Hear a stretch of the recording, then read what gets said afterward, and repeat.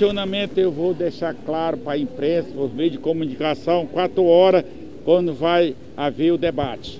Por enquanto está na gaveta ali, mas a gente segue o protocolo da Organização Mundial de Saúde, seguimos também o protocolo brasileiro e localizado, mas o prefeito de Teresina tem sua opinião própria. Pode até coincidir com a opinião do governador, com o protocolo da Organização Mundial de Saúde, com outras, com outros. Mas neste momento a minha conversação, se você quiser me entrevistar às, às 16 horas, eu darei minha opinião, se sigo as opiniões locais com o governador se tem alguma divergência. Se houver essa necessidade, doutor Pessoa, até por ser médico, por estar perto ali da população nessa avaliação no dia a dia? Ora, a gente vê que a pandemia veio, eu uso muito essa palavra, afugentar a, o ser humano, porque nós estamos perdendo a essência de humanidade.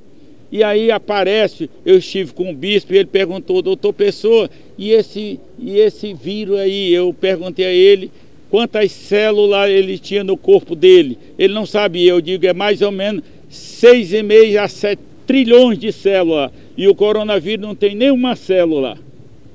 Ainda é classificado como não ser, porque não é uma célula composta biologicamente falando, como um ser vivo, como um ser, como um ser, melhor dizendo, como um ser. Portanto, uma coisa que só microscópio de alta potencialidade que você observa isso aqui.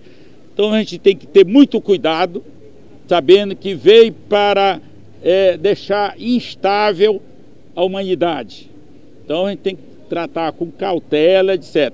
Eu já, independente do governador, mas coincidiu com a decisão do governador, carnaval não vai ter, aglomerações também não vai, ser, não vai ter ponto facultativo. Eu disse primeiro até. Isso não quer dizer que eu esteja em desarmonia com o governador, muito pelo contrário, eu quero estar em harmonia total com o governo federal, o governo estadual e, logicamente, nós aqui do governo municipal. Prefeito, os horários que estabeleceu?